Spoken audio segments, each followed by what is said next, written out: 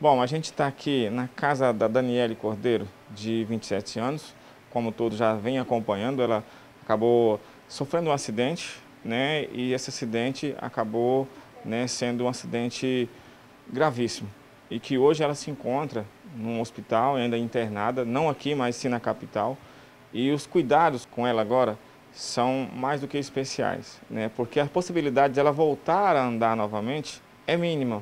E aí o que a família está pedindo, na verdade, é a contribuição da população para que possa fazer uma nova readaptação, praticamente construir uma casa nova para que ela possa vir para cá, para que ela possa né, se locomover aqui dentro de casa. Né, é uma situação muito difícil. A gente quer mostrar um pouco da realidade de como está a casa da Dani, para que você em casa, em casa possa entender. Aqui onde a gente está é a sala, mas a casa tem quatro cômodos. A gente vai mostrar para você que está em casa, que está acompanhando. A gente vai entrar aqui, aqui tem dois quartos, como vocês vão ver. Esse aqui é um quarto, né? Pelo que a gente está vendo aqui, era o quarto da Dani, é o quarto da Dani, na verdade, né? Que vai precisar de uma mudança total devido à situação dela, né?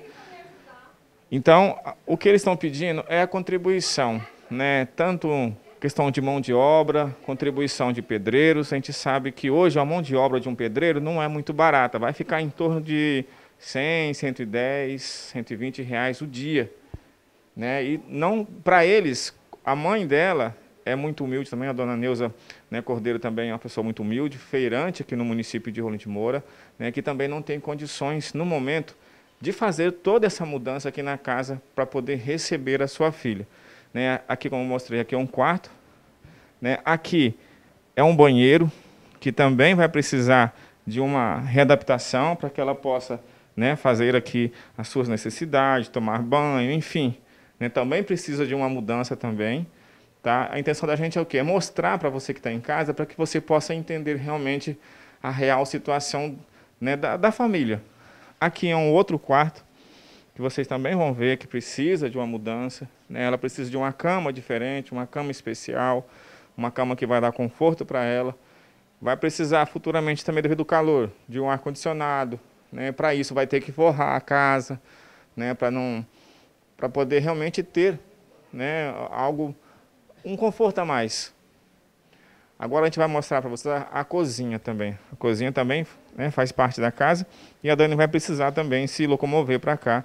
Né, e a mãe dela né, também vai precisar dessa ajuda, porque sozinha né, ela já não é muito, não é muito mais jovem, já tem, né, já está numa idade avançada, a mãe da Dani, e aqui é a cozinha, que vai precisar também de uma mudança total. Então agora vocês já conhecem um pouco da realidade da Dani, Daniele Cordeiro, né? e fica a critério seu que está acompanhando essa programação para que você possa contribuir, para que você possa ajudar da forma que você puder, com material, com mão de obra, com dinheiro, vai ficar as, ao seu critério. Você vai fazer aquilo que você achar que você pode fazer para contribuir. E como a Inês disse, você, se você quiser vir aqui conhecer a casa, você pode entrar em contato com ela, pode vir aqui conhecer, enfim, para que realmente você possa contribuir.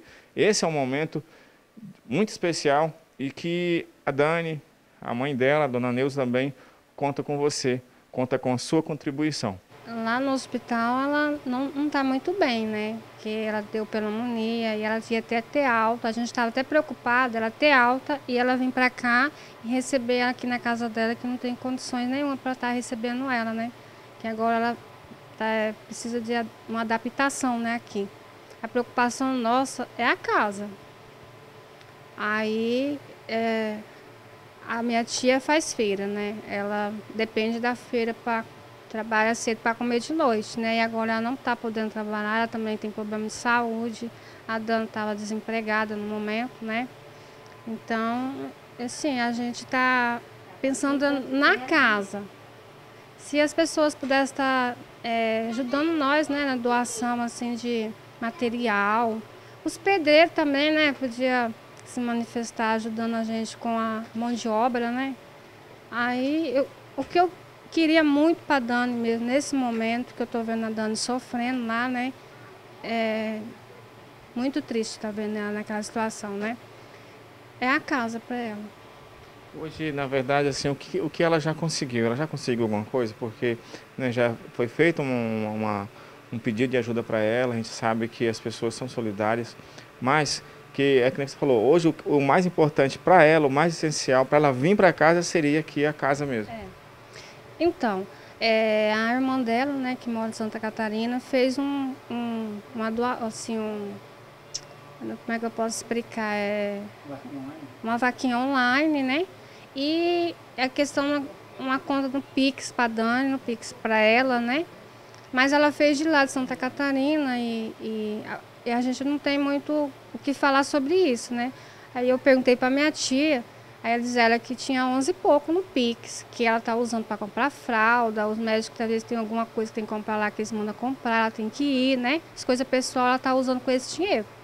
Aí tem um outro cartão também lá dela, da Dani, é, a minha tia foi mexer lá no aplicativo, ela bloqueou o aplicativo, então a gente não está sabendo direito. E a minha tia tá, tá assim, desesperada, né?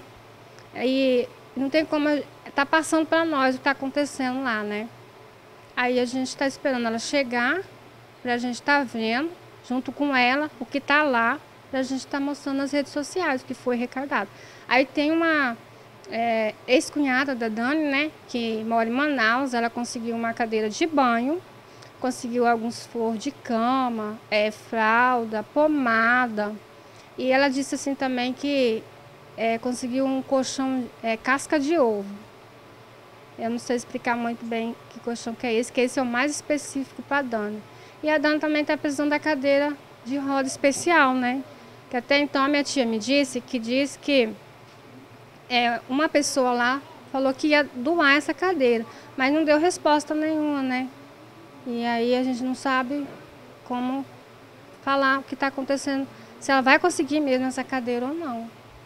Agora, o Inês, já chegou a fazer um orçamento realmente do, assim, de quanto vai ficar? Porque a casa aqui é grande e realmente vai ter que fazer em toda a casa, não é só um cômodo dois, é a casa toda, na verdade, né? Eu, eu chamei né, um, um conhecido meu que é o pai da minha neta, ele veio aqui, fez o orçamento em cima de quatro peças. Um quarto um, e um banheiro adaptado para Dani, né? Mais outro quarto e uma cozinha tipo americana, assim, toda aberta, porque para ela correr com a cadeira. E uma arinha, né, em roda assim, que nem agora à tarde aqui é fresquinho para cá, né?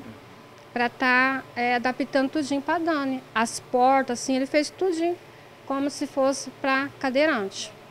Agora, as pessoas que estão em casa acompanhando, se quiser contribuir, tem um outro, nome, outro número de Pix, as pessoas podem estar tá entrando em contato com você ou com a própria mãe da Dani, para que possa colaborar, ou mesmo vir aqui para ver a realidade. É, se eles quiserem estar tá procurando nós, né? Aí eu passo o meu endereço da minha mãe para eles estarem lá conversar com nós e a gente está passando outra conta, né? Qual seria o seu telefone para que as pessoas possam entrar em contato? É 984 47 6047. Aí eu moro lá na Uirapuru, 6489. Aí é só ligar ou ir lá. A possibilidade dela voltar futuramente a andar novamente, há, há essa possibilidade? O que, que os médicos já disseram para vocês da família? Deu poucas possibilidades, muito pouca. Ele, ele foi realista com a minha tia. A chance dela voltar a andar é pouco. Aí ele falou assim, que é com o tempo, né? Primeiramente Deus e com o tempo. Aí tem que fazer as fisioterapia depois que ela tá vindo para casa, né? E vai depender do tempo. Que ele não deu bem pouca chance para ela andar. Outra situação preocupante também é porque, além da Dani né, tá se tratando agora do acidente, enfim, precisando de cuidado, a mãe também passa por um tratamento, tratamento também de, de saúde, né? Que também não é algo muito simples. É verdade. A minha tia tem, já tem uns três anos já. Que de vez em quando ela tem que ir lá em Porto Velho tirar é, alguns carocinhos que saem no corpo dela, né? Ela tem que tirar.